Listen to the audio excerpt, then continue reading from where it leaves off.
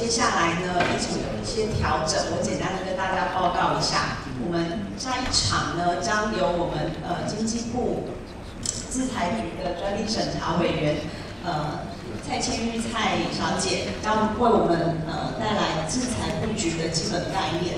那原定下一场即将呃本来要呃演讲的。哦，Jackie Yang 老师他呃会紧接在我们蔡小姐的演讲之后，那做了一些调整，呃，请大家见谅。那呃，我们接下来就邀请呃蔡倩玉蔡小姐。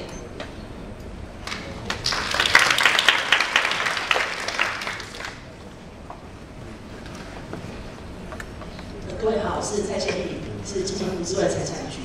那我今天呢，在在接下来这个小时里面呢，想跟大家用比较轻松的方式去谈一下说制裁布局的基本概念。那各位同学可以放心，在这一小时里面不会提到专利法、商标法或是著作权法的这些专有名词。那我们要用比较生活化的方式来跟各位讨论说，如果今天我们有一个产品或是有个技术。然后从研发到上市、销售的这段过程里面，那我们可能会产出哪一些的智慧财产权？一个，我们当然要想说，那我们要如何去找寻智慧财产的保护的标的？那因为现在到中午了嘛，那台湾呢，其实有样是非常著名的产品，那相信大家一定也都知道，甚至也很喜欢。或许等一下在中午吃饭的时候，你也会看到它。比方说这个鸡排，好，那鸡排它会有什么样的智慧财产呢？第一个，我们要先从鸡鸡排的制造来开始去讨论它。第一个，鸡排它有呃以下的制造方法。然后第一开始，你要先去拍打它，接下来呢，你要去腌制它，还有呢，你要去沾粉，然后等它反潮，最后呢，你再下油锅去炸完。那当我们这样子生产了之后，接下来呢，你还必须要帮它去做包装、做行销，还有可能要设立一些品牌。那我们在包装的时候呢，我们会使用纸袋、纸盒，或者是说你在上面会附带一些设计。接下来呢，如果你会有品牌的话，那你就会有商店名称，或者是有 logo，甚至你会有广告词。最后呢，你可能还要有文宣，文宣上面就会有文字。图片还有影像等等，所以呢，从这个制造到后面你的销售，大概的流程是这样。那在这些过程当中，它可能会产出哪一些的智慧财产？一开始我们可以看到，在制作鸡排这件事情来讲的话，它是有内隐的，也就是说，它是能消费者端它是看不到的。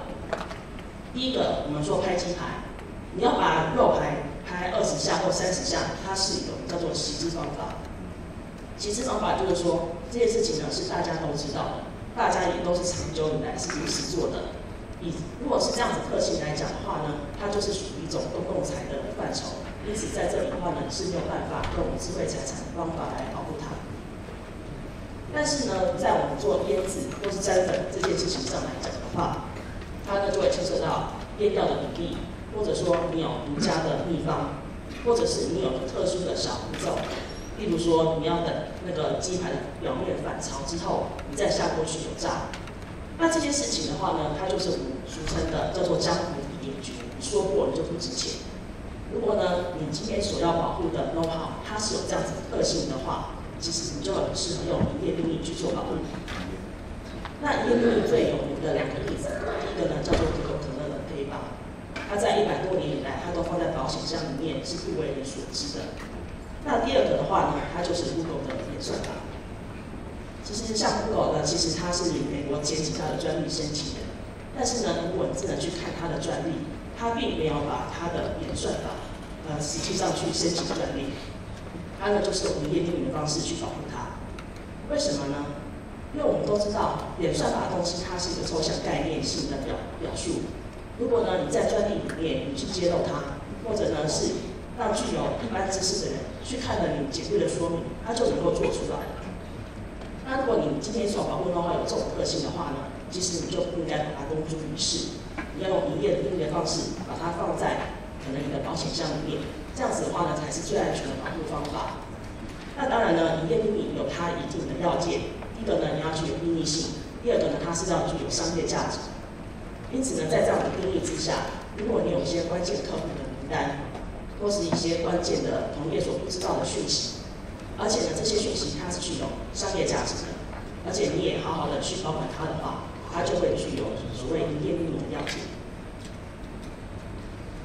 那再来的话，炸鸡排。刚才呢，我们对炸鸡排的描述是说，可以在一百五十度 C 的油里面让它去炸两分钟。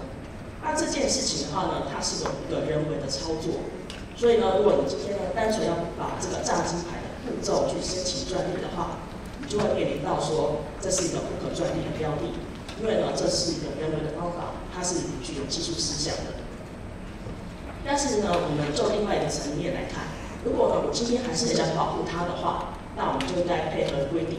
也许呢，你在炸鸡排的过程当中，你使用的是特殊的模具，或者呢，你是使用特殊配方的专用炸鸡排的油。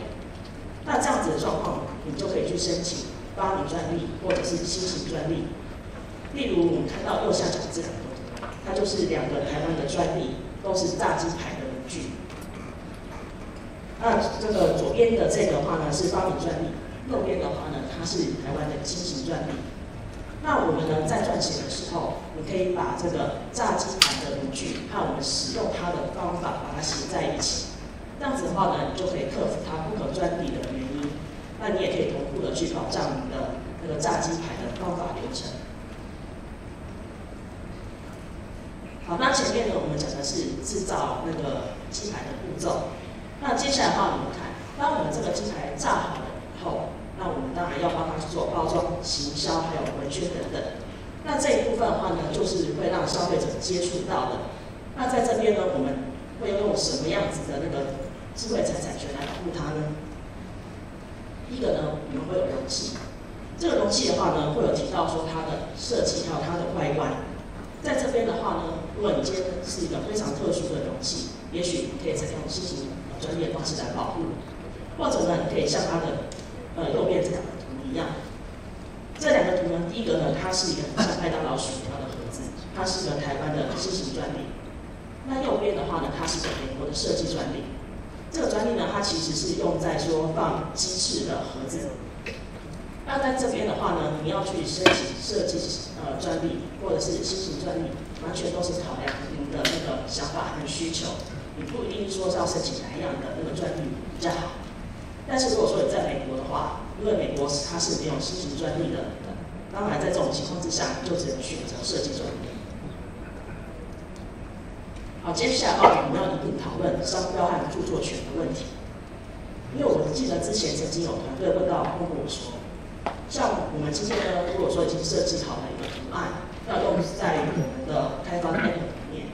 当我们设计好这个图案之后，其实就已经有著作权了。那我为什么还需要说要用商标去保护它呢？这边我们看，可以看到，品牌它会包含什么？一个叫做名称，名称它可能是个文字的表述。再呢来呢，它是 logo，logo 就是我们讲的图案。那 slogan 就是所谓的广告词。这样东西它都是商标可以保护的项目。那再过来呢，文宣。文宣就包含图还有文，那一般来讲，我们今天一个具有原创性的文宣的话呢，它当然就绝对有著作权的保障。可是我们来看一下一些比较知名的厂商，他是怎么做的。你现在可以看到这荧幕上面那个熊大和兔兔这两个图案，它在创作完成之后，自然呢它就已经享有著作权的保障。可是实际上呢，赖他在台湾分别为了 Reference 里面的每个人物都有设计的商标，那这两个呢都是所谓的图形的商标。那下面的五线其实是赖他的讯息通知的那个音乐。那这音乐呢，当然你在创作完之后，它就已经享有著作权。可是呢，赖他在台湾也为他申请呃登那个申请的声音商标。那这三个商标呢，都是已经通过审查、注册的，享有商标权。那在右边的图案，那个兔兔的玩偶，它是台湾的一个设计专利。那为什么我已经有了兔兔的商标之后，我还要去申请设计专利呢？因为我们知道商标它是一个提性，它当然是用在说我们登记的商品或服务之上。可是今天呢，我如果说是和超商去合作，我要发售那个兔兔的玩偶，那因为呢，兔兔它是在玩偶上面的那种表彰，在这种状况之下，它就符合设计专利的标记，所以呢，你可以为这个兔兔的玩偶去申请设计专利。那所以我们在这边可以看到说。其实，在不同的那个著作权或者是商标里面，它所保障的项目还有范畴是不太一样的。那这边为什么我们要特别在单独去讲到这件事情？我们呃，如果说上礼拜有看到新闻的话，可能各位有注意到，在台湾呢有一间公司，它是乐年代的那个莉莉丝的刀塔传奇，它在台湾呢被那个魔兽告到那个法院去。告的是刑事诉讼，是侵害著作权还有商标权。那他的意思是说，因为呢，《刀塔传奇》里面它的部分人物和场景跟《魔兽》里面的状况是非常相似的。那这个暴雪认为是说有侵权的嫌疑。可是实际上，我们经过检索的结果，其实暴雪呢，他在台湾就为他公司的名称还有《魔兽传奇》去申请商标的注册，他并没有为他场景的设计。还有人物的设计，个别的去申请那个商标，也就是说，他不像他一样，帮他的熊大还有兔兔单独去注册申请。那他为什么这个美商他可以这样去主张他的权利，而不单独去讲说侵犯著作权就好了？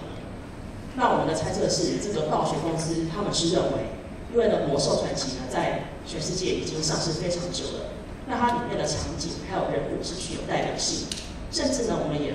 有可以买到它的周边的商品，因此呢，当消费者买到魔兽周边商品的时候，就知道说，哦，这个人物其实呢，他是魔兽里面的人物。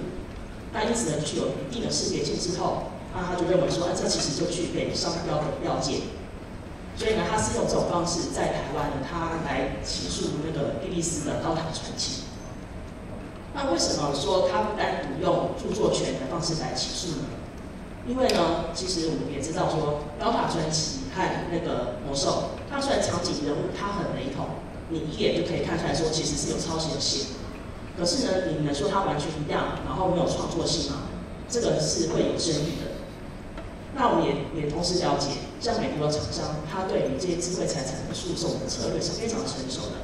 他很了解说，不同的智慧财产，它保障的那个程度是不同。你在告人家侵权求偿的时候的要件也是不一样，因此呢，他是同步用著作权还有那个商标的方式在台湾起诉。好，那为什么说突然这个呃魔兽要在台湾告高塔传奇？这时候我们还要再追溯到往前一个礼拜，也就是三月中的时候，在美国，莉莉丝呢，他在美国去控告另外一间公司优酷，他的另外一款游戏有山寨他的心。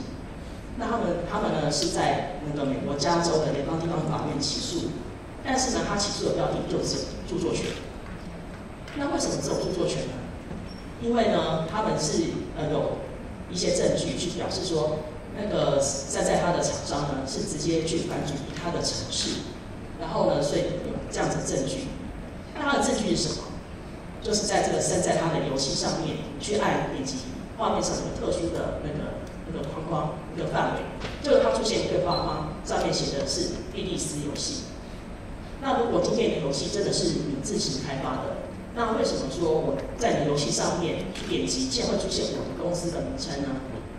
他是用这样子非常强烈的证据去控告，如果说你是有著作权的侵害。所以呢，在这边我们可以了解到说，当你今天需要用著作权去求偿的时候，那你的证据力。是要非常的明显的。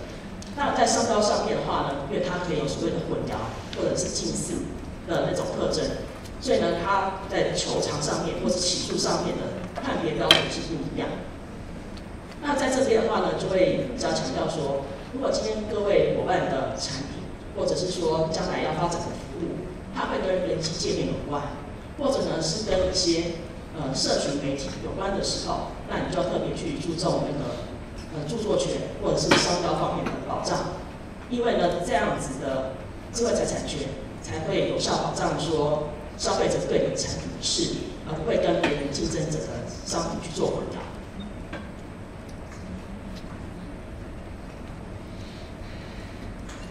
好，那接下来的话，我们可以再看看说，为什么像这样子的保障是非常重要的。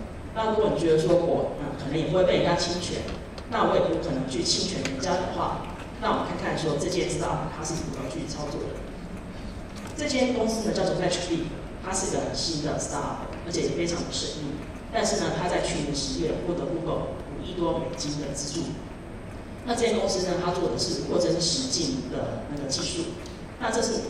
这个短片呢，是他在呃，也是三月二十几号的时候才公开的。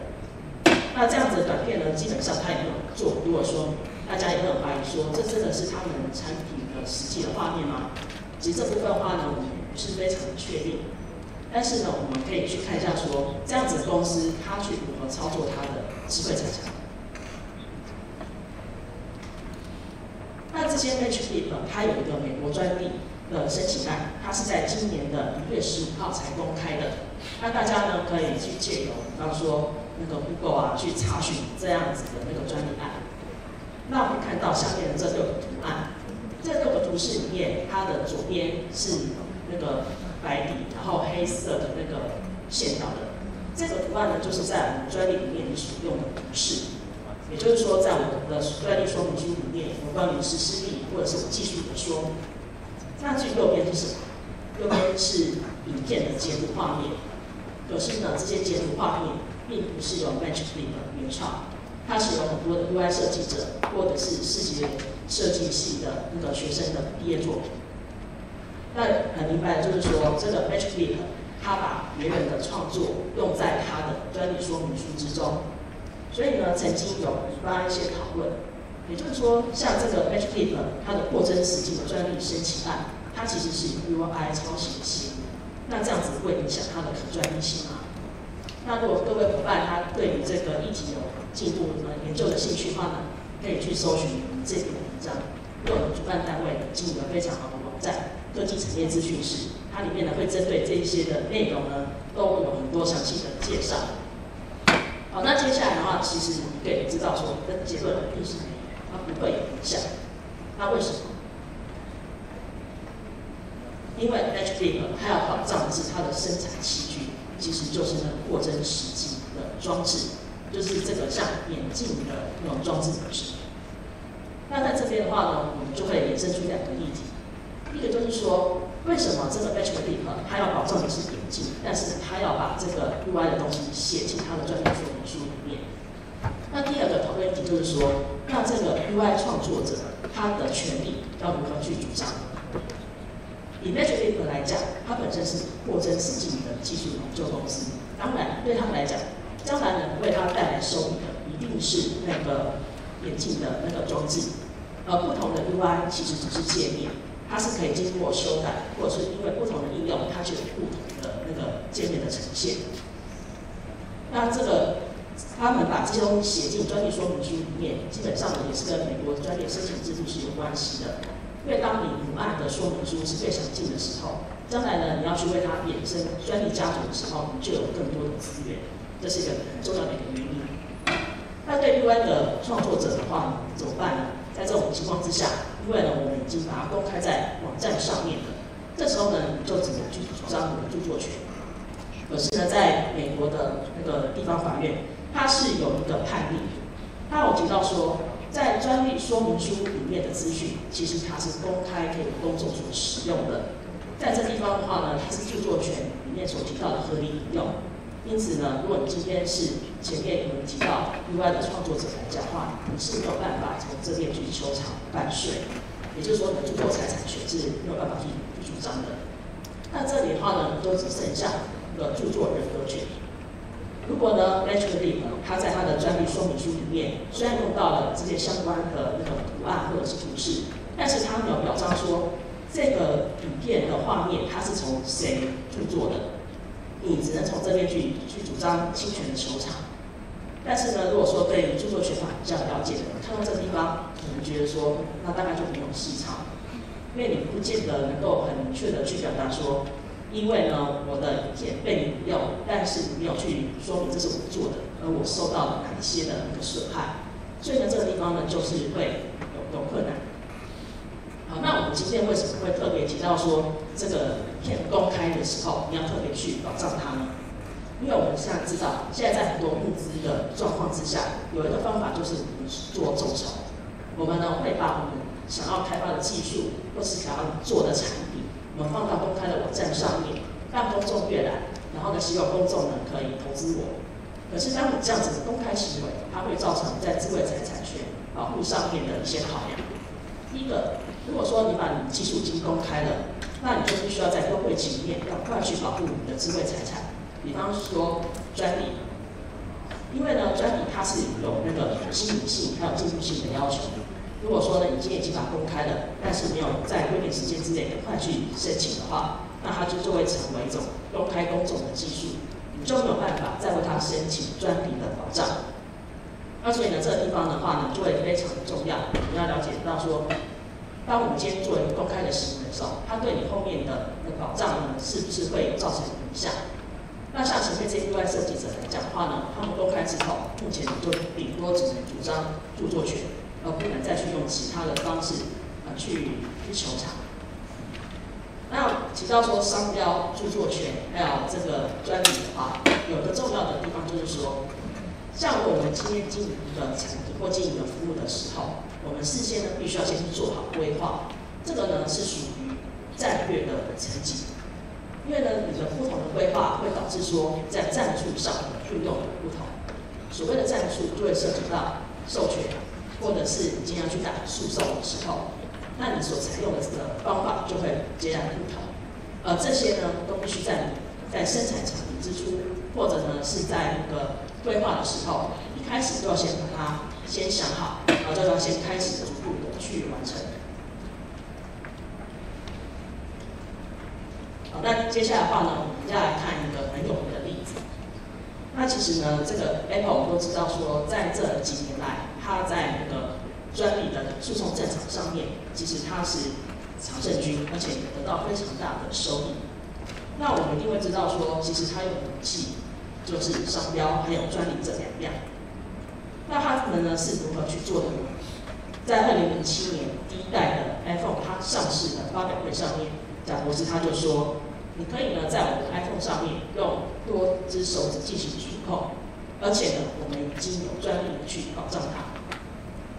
那它呢是如何去进行它的专利的保障，以及它的数量大概是什么样子的状况？贾博士他就接着说，我们呢其实呢为 iPhone 研发已经花了好几年的时间，而且呢当时就已经申请了超过两百件的美国专利，而且我们呢。是有决心要保障我们的智慧财产权。那那个是只是二零零七年的数据，哎，只知道说这是当时就有两百件。当然，时至今日的话，关于 iPhone 的专利是可以用千为单位来做计算。那透过呢这个苹果，他们这几年来在智慧财产权上面保障的成果，相信呢这也已经说明一件事情。如果呢，各位伙伴还在这个过程当中还在迟疑，说我呢是什么时候应该要保护我的智慧财产权？那什么时候该申请专利？什么时候应该要申请商标？或者是什么时候呢？我要去做我公开的行为等等？我相信呢，这个贾博士他的这个演讲就已经给各位给了最好的答案。那我今天演讲到这边为止，谢谢各位。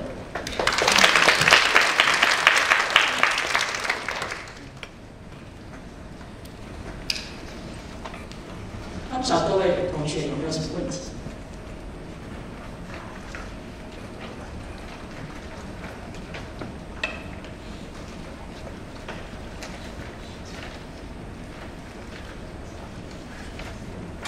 相信许多团在座的团队就是在制商业都有自己的想法跟规划。那如果说大家等一下有问题的话，那不妨可以拦截刚刚我们的讲者，然后直接对他提出。